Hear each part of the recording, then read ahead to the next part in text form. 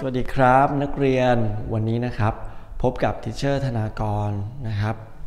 วันนี้ teacher ธนากรจะมาสอนนักเรียนในรายวิชาคีย์บอร์ด หรือว่า music นั่นเองนะครับสำหรับวันนี้ teacher ธนากรจะมาสอนนักเรียนเกี่ยวกับเรื่อง ของเพลงนะครับ Pumpkin Man อ่าแล้วก็มีเนื้อหาเกี่ยวกับชื่อของตัวโน้ต ส่วนสุดท้ายนะครับก็คือเครื่องหมายปะจุดนะครับ เครื่องหมายปะจุดค่อนข้างสำคัญนะครับ เพราะว่าเราจะใช้กับเพลง Pumpkin Man ได้นะครับ เพราะฉะนั้นวันนี้นะครับที่เชยอยากให้นักเรียนตั้งใจฟัง แล้วก็หยิบดินสอกับสมุดนะครับ มาจดตามที่ทิเชอร์ธนากรได้สอนนะครับอะก่อนที่เราจะไปเข้าสู่บทเรียนนะครับ วันนี้นะ เดี๋ยวเรามาลอง ทบทวน finger number ก่อนแล้วกันนะครับ Finger Family. Daddy Finger, Daddy Finger, where are you? Here I am, here I am, how do you do? Mommy Finger, Mommy Finger, where are you? Here I am, here I am, how do you do? Brother Finger,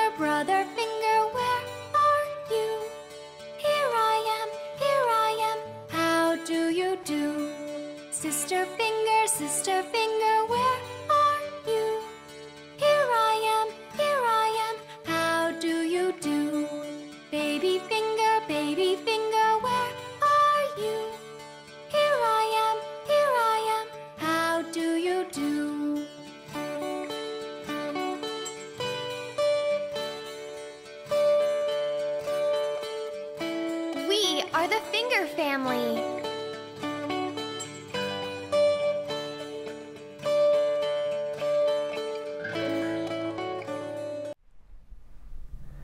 เป็นยังไงกันบ้างครับนักเรียนวิดีโอที่ดิฉันธนากรให้นักเรียนดูนะครับ เป็นวิดีโอสั้นๆ เพื่อทบทวนบทเรียนนะครับทีนี้นะครับเรามาเข้าสู่บทเรียนกันเลยนะครับ ในเรื่องแรกนะครับ วันนี้ดิฉันจะสอนพวกเราเกี่ยวกับเรื่องของชื่อนะครับ ตัวโน้ตภาษาไทยแล้วก็ภาษาอังกฤษหรืออเมริกันนะครับ นักเรียนเรามาดูกันที่ตัวแรกนะครับ ตัวแรกเลยนะครับ เขาเรียกว่าตัวกลม พูดตามที่เชิญนะครับ ตัวกลม whole note ที่เชิญอยากให้นักเรียนนะครับ จดลงในสมุดนะครับ หรือกระดาษก็ได้นะครับ ตัวกลม whole note นี่นะครับ ตัวกลมหน้าตาจะเป็นแบบนี้นะครับนักเรียนอ่า เป็นวงกลมๆเลย มันถึงเรียกว่าตัวกลมนั่นเองนะครับ ต่อไปนะครับ ตัวที่สองตัวที่สองของเรานะครับ มีชื่อเรียกว่าตัวขาวนะครับนักเรียนพูดพร้อมกันตามทิเชอร์นะครับ ตัวขาว half note อีกครั้งหนึ่งนะครับ ตัวขาว half note ตัวขาวนะครับนักเรียนตัวขาวหน้าตาจะเป็นแบบนี้นะครับ กลมๆแล้วก็มีขีดลงมา แบบนี้เรียกว่าตัวขาวนะครับ นักเรียน ตัวต่อไปนะครับตัวที่ 3 ตัวดำนะครับ ตัวดำพูดตามที่เชิญนะครับ ตัวดำ quarter note ครั้งหนึ่งนะครับ ตัวดำ quarter note โอเคครับ ตัวดำนะครับก็จะเป็นลักษณะอย่างนี้นะครับนักเรียนกลมๆเหมือนกันมีขีดลงมาแล้วก็ฝนแบบนี้นะครับเรียกว่าตัวดำนะครับ ต่อไปนะครับ ตัวขบเบ็ดหนึ่งชั้นนะครับนักเรียนตัวขบเบ็ดหนึ่งชั้น ตัวขบเบ็ดหนึ่งชั้นนะครับ หน้าตาจะเป็นแบบนี้เชื่อว่าให้ดูกันนะครับแล้วก็มีขีดลงมา จึ๊บมีหงอนด้วยเหมือนธงชาติเลยนะครับอ่าแล้วก็ฝนด้วยนะครับอะพูดตามเชอร์ขบเบ็ดหนึ่งชั้น อีกครั้งนะครับขบเบ็ดหนึ่งชั้น eight note ตัวขบเบ็ดหนึ่งชั้นนี่นะครับ egg note เรามาลองพร้อมกันนะครับ ตั้งแต่ตัวแรกนะครับ ตัวกลมด้านนู้นนะครับ whole note ตัวที่สองนะครับ ตัวขาว half note ตัวดำ quarter note ต่อไปนะครับเขบ็ตหนึ่งชั้น eighth note อ่า อันนี้ก็คือตัวโน้ตทั้ง 4 ตัวนะครับนักเรียน ส่วนวันนี้นะครับ teacher จะสอนเกี่ยวกับเรื่องของเครื่องหมายประจุดด้วยค่อนข้างที่จะสำคัญนะครับนักเรียนอะเพราะว่าเราจะเอาไปใช้ในเพลงพันกินแมนนั่นเองนะครับ ทีนี้เดี๋ยวเรามาลองทำความเข้าใจง่ายๆกันก่อนนะครับ เครื่องหมายปลาจุดหน้าตาเป็นอย่างไร เราไปลองดูนะครับเครื่องหมายปลาจุดหน้าตาเป็นแบบนี้ จุดๆมองเห็นไหมเอ่ยมันตัวเล็กมากนะครับ เครื่องหมายปลาจุด ส่วนใหญ่นะครับ มันจะอยู่ข้างหลังของตัวโน้ต เช่น อันนี้เป็นตัวกลมนะครับนักเรียน มีจุดหน้าตาจะเป็นแบบนี้ นี่ตัวขาวปกติ แล้วก็มีมีจุดด้วย เห็นไหมครับ เดี๋ยวเรามาดูกันเลยนะครับ ว่าเครื่องหมายประจุดทำหน้าที่อย่างไรนะครับนักเรียน ทีนี้ตัวกลมกับตัวขาวมีค่าเท่ากับกี่จังหวะเอ่ยใครตอบ teacher ได้บ้างตัวกลมนะครับมีค่าเท่ากับ 4 จังหวะนะ teacher จะใส่ไว้ข้างบนเนาะส่วนตัวขาวมีค่าเท่ากับกี่จังหวะ 2 จังหวะนะครับนักเรียนอ่า ตัวขาวจะมีค่าเท่ากับ 2 จังหวะ ตัวกลมมีค่าเท่ากับ 4 จังหวะ ทีนี้นะครับอขออภัยที่เชื่อลบเครื่องหมายประจุดไปแล้ว มันก็จะมีค่าเท่ากับ 4 จังหวะ แล้วก็ 2 จังหวะนะครับนักเรียน 4 จังหวะที่เชื่อสอนไปแล้วสัปดาห์ที่แล้ว เราก็ทำเสียง 4 ครั้งโดอะครบ 4 ครั้งก็ 4 จังหวะ ถ้า 2 จังหวะล่ะ ก็จะเป็น โด แล้วก็หยุดถูกต้องไหมครับ อันนี้คือ 4 จังหวะแล้วก็ 2 จังหวะ ทีนี้ถ้าเกิดมันมีเครื่องหมายปะจุดเข้าไป ปะจุดเข้าไปอย่างนี้ อ่าอย่างนี้เรียกว่าเครื่องหมายปะจุด มีเครื่องหมายปะจุดเข้าไปนะครับ นักเรียนค่าของตัวโน้ตนะครับ จะเพิ่มขึ้นฟังให้ดีนะ ค่าของตัวโน้ตจะเพิ่มขึ้น ครึ่งหนึ่งของตัวมันเอง อีกครั้งนะครับ ค่าของตัวโน้ตนะครับ จะเพิ่มจากตัวโน้ตครึ่งหนึ่งของตัวมันเอง เช่น 4 ต้องไหมครับตอนแรกเป็น 4 เราใส่ปาจุดเข้าไปเปิงโน้ตก็จะมีค่าเป็นเท่าไหร่ 4 บวกไปอีกนะครึ่งหนึ่งของมันเอง จริงๆ ครึ่งหนึ่งของมันก็คือ 2 นั่นเอง ครึ่งหนึ่งของ 4 ก็คือ 2 บวกไปอีก เป็น6อะเป็น 6 แล้วนะครับนักเรียน ทีนี้เวลาเราทำเสียงตัวกลมปะจุดนะครับ ตัวกลมปะจุดมันก็จะเป็นอย่างนี้นะครับ โด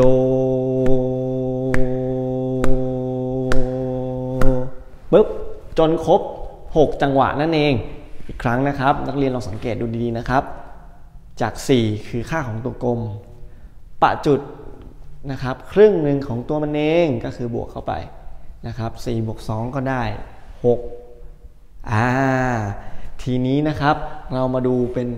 ตัวขาวกันบ้าง ตัวขาวมีค่ากี่จังหวะเอ่ย2 จังหวะถูกต้องไหมครับนักเรียน ตัวขาวมีค่าเท่ากับ 2 จังหวะอะถ้าดิจิทัลธนากร ใส่เครื่องหมายประจุดเข้าไป ครึ่งหนึ่งของ 2 ก็เป็น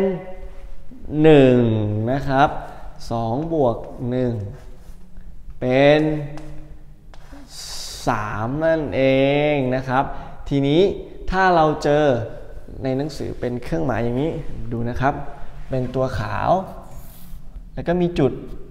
จืบอ่าตัวขาวแล้วก็มีจุดตัวขาวมีค่า 2 นะครับ บวกกับตัวมันเองไปอีก 1 นะครับ ก็จะเป็น 3 จังหวะอะเพราะฉะนั้นเวลาอ่านโน้ตก็จะเป็นแบบนี้ โด จากที่จะเป็น 2 ก็กลายเป็น 3 นะครับอะทีนี้เดี๋ยวที่เชื่อยกตัวอย่างอีก 1 ตัวแล้วกันนะครับนักเรียนอ่าตัวสุดท้ายแล้วค่อนข้างยากด้วยนะครับ ก็คือโน้ตตัวดำนั่นเอง ตัวดำมีค่า 1 จังหวะ ถูกต้องไหมครับ ตัวดำมีค่า 1 จังหวะ ตัวดำปะจุด โอ้ยากแล้วนะครับ ตัวดำมีค่า 1 จังหวะต้องไหมครับ บวกไปอีก บวกปะจุดนะครับ ครึ่งหนึ่งนั่นเองที่เชื่อเขียนว่า1ส่วน2นะครับ ก็จะเป็นตัวดำที่มีค่า 1 จังหวะ บวกกับปะจุด อีกครึ่งหนึ่งมันก็จะเป็น โด ยาวมานิดนึงเห็นไหมครับ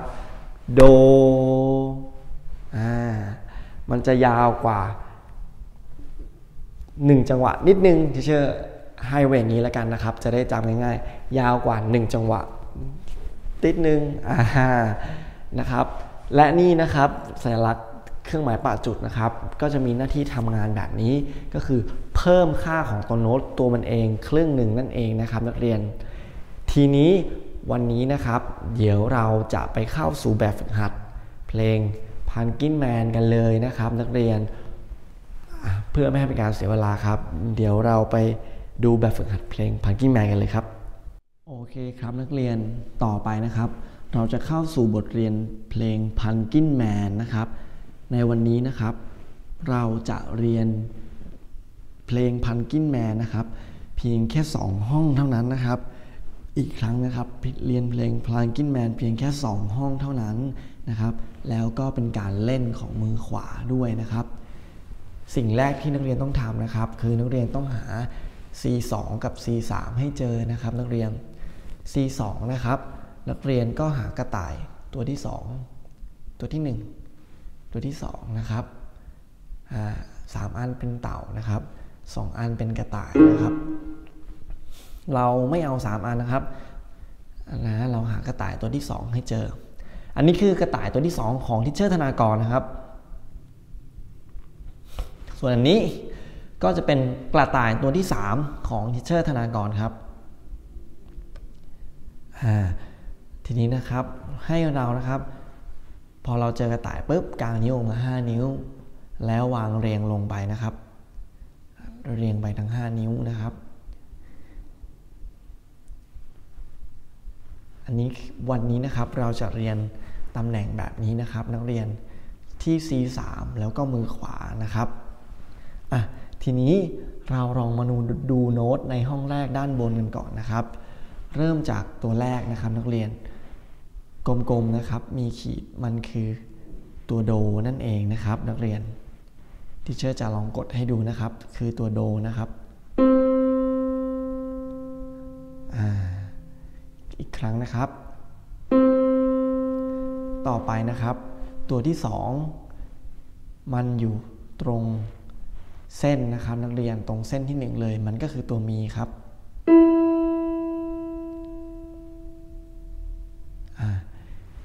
นักเรียนลองสังเกตดูนะครับ ระหว่างตัวโดกับตัวมีนะครับ จะมีเส้นเชื่อมถึงกันด้วยนะครับ จริงๆแล้วนะครับ ตัวนั้นก็คือตัวขบเบ็ด1ชั้นนั่นเองนะครับ ตัวขบเบ็ด1 ชั้นนะครับจริง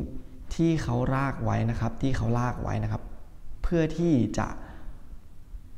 ไม่ให้มันลกจนเกินไปนะครับ นักเรียนเพื่อเหตุผลนั้นเลยนะครับ เพื่อไม่ให้มันลกแล้วก็ให้มันดูสวยงามมากขึ้นนะครับ เขาจึงไม่เขียนเป็นตัวขบเบ็ดหนึ่งชั้นหลาย ๆ ตัวนะครับ เขาจึงใช้การลากแทนนะครับ เพราะฉะนั้นมันขบเบ็ดหนึ่งชั้นมันต้องเล่นเร็วนะครับ นักเรียน มันต้องเล่นเร็ว จะเป็นแบบนี้นะครับ ตัวต่อไปนะครับ ตัวที่ 3 ก็คือตัวซอนนะครับ เพราะมันอยู่ตรงเส้นที่ 2 ของบรรทัด 5 เส้นนะครับนักเรียน ตัวซอนตัวนี้จะเป็นตัวดำตัวดำมีค่า 1 จังหวะนะครับ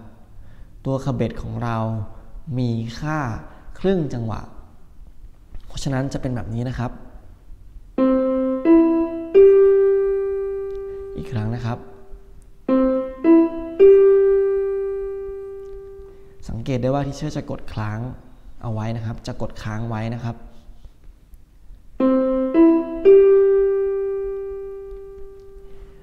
ดูใหม่อีกหนึ่งครั้งนะครับ โด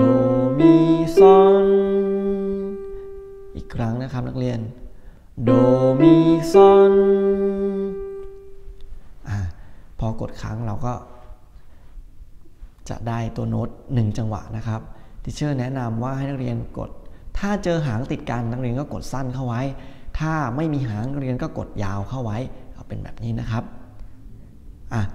ตัวต่อไปนะครับ เหมือนกันเลย 3 ตัวต่อไปนักเรียนลองสังเกตดูนะครับ 3 ตัวต่อไปนะครับ เหมือนกันเลย อีกครั้งนะครับ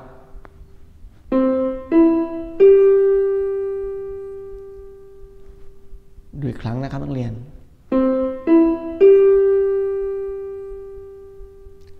อ่าเห็นไหมครับว่ามันเหมือนกันเลย ทีนี้เราก็จะเล่นทั้ง 6 ตัวเลยพร้อมๆกันนะครับ ให้นักเรียนสังเกตที่ตัวขบเบ็ด1ชั้นกับตัวดำดีๆนะครับ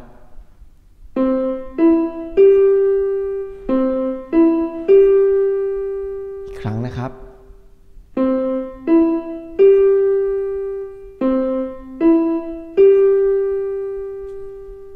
อ่าได้แล้วนะครับ ในห้องที่1นนะครับนักเรียนจะเป็นแบบนี้นะครับอีกหนึ่งครั้งนะครับ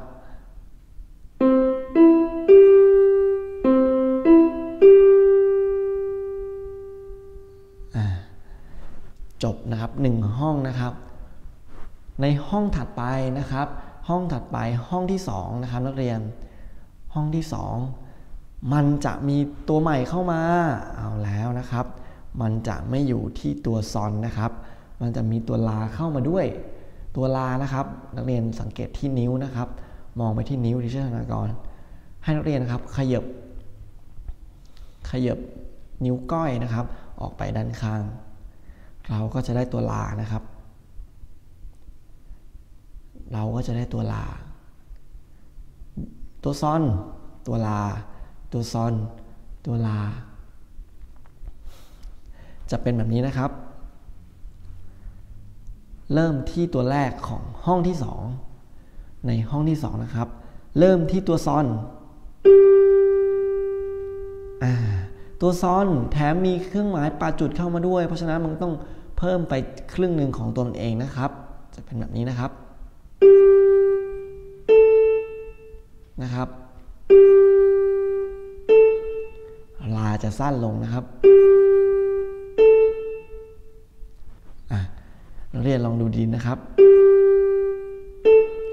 ตัวลาตัวนี้นะครับ มันจะมีขีดเล็กๆ ข้างล่างอีกทีหนึ่งนะครับ ขีดเล็กๆ ข้างล่าง เขาเรียกว่าตัวขบเบ็ด2ชั้นนะครับ เป็น 2 ชั้นแล้ว เพราะฉะนั้นนักเรียนกดตามที่เชื่อธนากรนะครับ กดตัวซ้อนให้ยาวขึ้นมาอีกหน่อยนึง แล้วกดตัวลาเพียงแค่นิดเดียวนะครับ อีกครั้งนะครับอ่าเราก็จะได้ห้องที่2นะครับจะกกดย่างนิดนึงนะครับ ในโน้ตสตัวนี้นะครับอ่าได้ 2 ตัวนี้นะครับ ต่อไปนะครับซอนกับลาได้แล้วนะครับ ต่อไปนะครับโน้ต2ตัวต่อไป ลงมาเหมือนเดิมที่ตัวซอนนะครับ เป็นตัวคาเบ็ดเหมือนกันนะครับ คือตัวซอนกับตัวฟ้านั่นเอง อีกครั้งนะครับ อีกครั้งนะครับเรียนตัวต่อไปนะครับ อีก 2 ตัวนะครับ มันไล่กลับลงมาครับนักเรียนที่เช่จะไปไว้นิดนึงนะครับ มันไล่กลับลงมาก็คือตัวมีกับตัวเลนะครับ อีกครั้งนะครับ ตัวสุดท้ายนะครับเป็นโด โดตัวนี้มีค่าเป็นโน้ตตัวดำนะครับ โน้ตตัวดำนะครับ มีค่าเท่ากับ 1 จังหวะนั่นเอง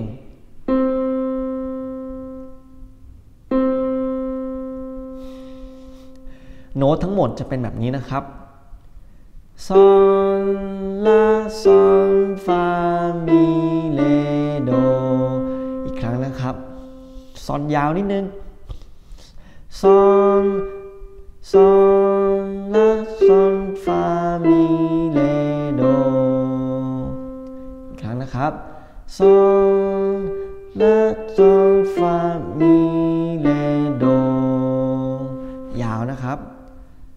ซอนลาซอนฟามี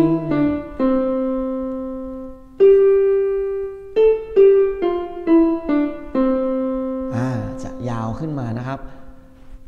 โน้ตทั้งหมดของเพลงนะครับ จะเป็นแบบนี้นะครับ ห้องที่หนึ่งนะครับ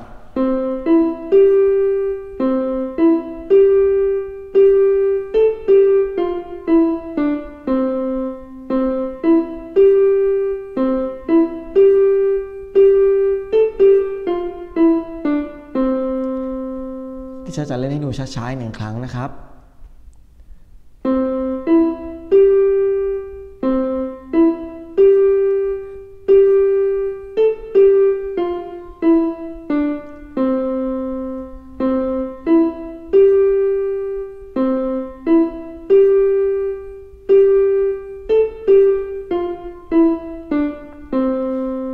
ที่สำคัญนะครับนักเรียนลองสังเกตดูได้เลยนะครับ ตัวลานี่เราจะแตะเพียงแค่นิดเดียวจริง ๆ นะครับ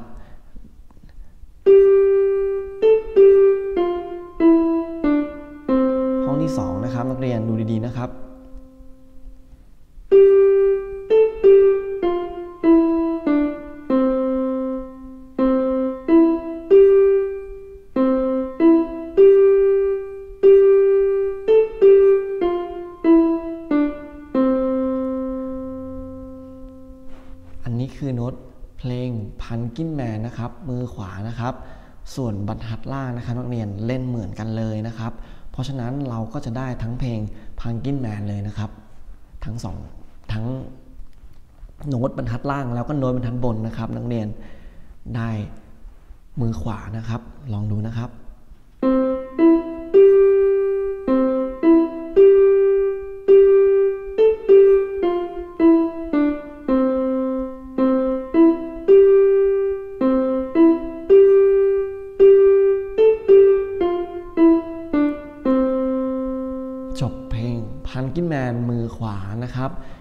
เชอร์อยากให้นักเรียนนะครับ ลองซ้อมบ่อยๆนะครับ ลองทบทวนบ่อยๆนะครับ ใครที่ไม่มีคีย์บอร์ดนักเรียนก็ท่องโน้ตตามได้นะครับ ถ้าท่องโน้ตนะครับจะเป็นแบบนี้นะครับโดมีซอนโดมีซอนซอนลาซอนฟามีเรโดโดมีซอน อนลาซอนฟามีเรโดเราก็ท่องอยู่บ้านได้นะครับ เพื่อเราได้เจออีกครั้งนะครับ จะได้เข้าสู่บทเรียนได้ง่ายขึ้นครับนักเรียน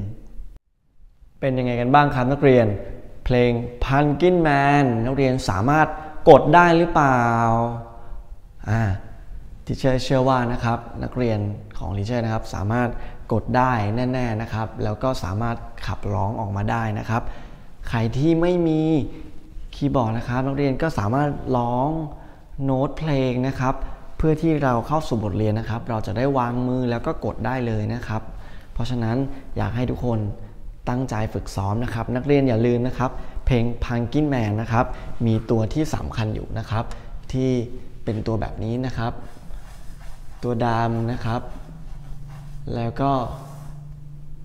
ขีดลงมาแบบนี้นะครับ แล้วก็มี 2 ขีดอ่า เป็นอย่างนี้นะครับ มันคือโน้ตในห้องที่ 2 นั่นเอง เพราะฉะนั้นนักเรียนต้องกดยาวก่อนแล้วก็สั้นมากอันนี้นะครับ จะสั้นมากนะครับ มันคือโน้ตคาเบตสองชั้นนั่นเองนะครับ หน้าตาจริง ๆ แล้วของมันจะเป็นแบบนี้ที่เชื่อมาสรุปให้ฟังอีกครั้งนะครับ จะเป็นแบบนี้นะครับ เพราะฉะนั้นมันต้องกดสั้นกว่าคาเบตหนึ่งชั้นเข้าไปอีกนะครับ เพราะฉะนั้นสังเกตให้ดีนะครับซอนละ แค่นิดเดียวนะครับ มันจะสั้นมากนะครับอะยังไงถ้ายังไม่เข้าใจนะครับต้องเรียนลองย้อนกลับไปดูวิดีโอในคลิปนะครับ ว่ามันต้องเล่นสั้นประมาณไหน เสียงจริง ๆ แล้วมันต้องเป็นประมาณไหนนะครับ teacher อยากให้นักเรียนนะครับ ลองอัดวิดีโอมาให้ teacher ดูนะครับ ว่านักเรียนสามารถเล่นได้หรือเปล่า หรือสามารถที่จะร้องได้หรือเปล่านะครับ ใครที่ไม่มีเครื่องคีย์บอร์ดนะครับ นักเรียนก็ ร้องเพลงนะครับ Pumpkin Man นะครับให้ teacher ฟังหน่อยนะครับ อาจจะไม่มีสมุดโน้ตนักเรียนก็ลองจดโน้ตมาก่อน แล้วก็ลองท่องโน้ตนะครับโดมีซอนโดมีซอนซอนละซอนฟามีเลโดแค่นี้เองนะครับนักเรียนลองท่องโน้ตนะครับ ฝึก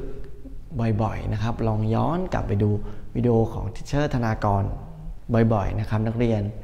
ยังไงช่วงนี้นะครับอยู่บ้านนะครับ ดูแลตัวเองรักษาสุขภาพด้วยนะครับ ออกไปไหนใส่แมสด้วยนะครับ เมื่อเราพบเจออีกครั้งหนึ่งเราจะได้นะสุขภาพแข็งแรงนะครับ นักเรียนยังไงวันนี้ทิเชอร์ธนากรลาไปก่อนครับนักเรียน สวัสดีครับ